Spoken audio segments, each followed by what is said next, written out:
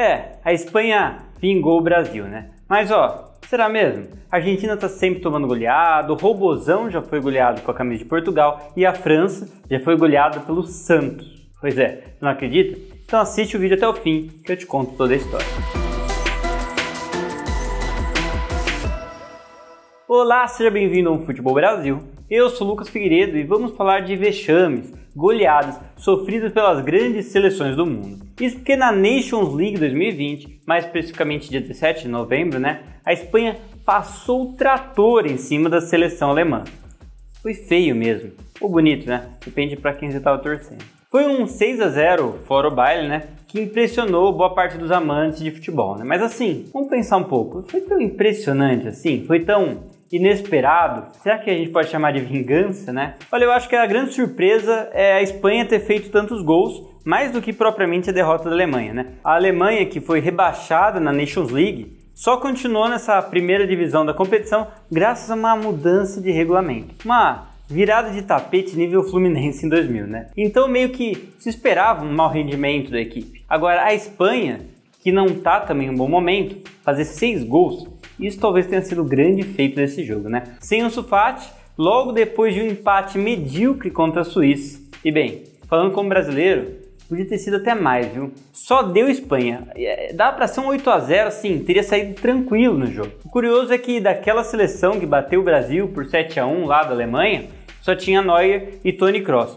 Justamente o Kroos que foi um dos que mais zoaram o Brasil nos anos seguintes, né? A Espanha dessa vez saiu como goleadora. Mas ó, em 2014, no mesmo ano que o Brasil tomou aquele sacode, eles também foram goleados. Só que ninguém lembra porque 7 a 1 chamou mais atenção, né? Na Copa de 2014, a Espanha era a defensora do título, com aquele timaço de Xavi, Iniesta e companhia limitada. Mas na fase de grupos, tomou um 5 a 1 da Holanda. Tá certo que a Holanda também tinha um timaço, né? Era Schneider, Robben, Van Persie. Tanto que foi uma reedição da final de 2010. Muitos até chamaram de vingança, só que convenhamos que final da Copa por 1 a 0 tem bem mais importância do que uma goleada em um jogo qualquer. A Espanha deu um vexame bem grande naquela Copa, porque não só foi goleado pela Laranja Mecânica, como saíram no Mundial ainda na fase de grupos, depois de perder o jogo contra o Chile também. Ou seja, a campeã da Copa anterior foi eliminada na fase de grupos. A primeira vez foi com a França em 2002. Cara, imagine comigo, a França estava lá tranquila, tinha acabado de bater o poderoso Brasil na Copa de 98. 3 a 0 goleada, chegava com uma das grandes seleções para a Copa de 2002. Zidane voando no Real Madrid, já era, né? E foi. A França saiu da Copa sem fazer nenhum gol. Cara, saiu da Copa sem ganhar nenhum jogo. É até hoje o pior desempenho de uma seleção defendendo o título na história. Mas não foi goleada, né? Aliás, a França, no período recente, tem tido um time, vamos dizer assim, bem equilibrado, né? Só que uma das maiores derrotas da história da equipe francesa, em toda a sua existência, sem, sem considerar só período recente, foi um amistoso. Foi um 6 a 1 aqui no Brasil. Mas não foi contra a seleção do Brasil, não.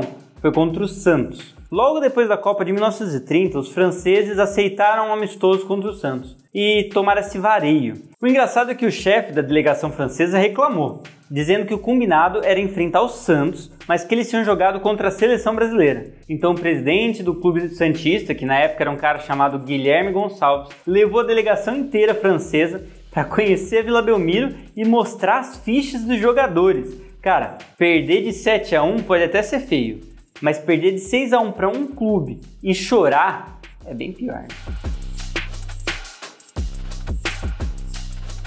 Aliás, já que a gente está falando de 6 a 1, vamos falar da Argentina. Aí tem gente me perguntando por quê. Bem, que a Argentina é mestre em tomar 6 a 1 né? Não importa quem, não importa onde. Em um jogo amistoso contra a Espanha, o Messi não pôde jogar e a Espanha, sem dó nem piedade, amassou os argentinos com esse placar elástico. Aí muitos vão falar: "Ah, mas a Espanha é forte e sem o Messi, sem o Messi fica difícil". Pois em 2009, 2009, os hermanos já tinham perdido de 6 a 1 e contra a Bolívia.